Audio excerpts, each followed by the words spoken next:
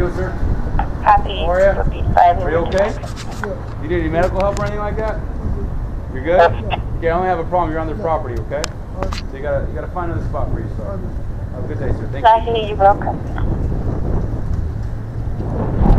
I think the address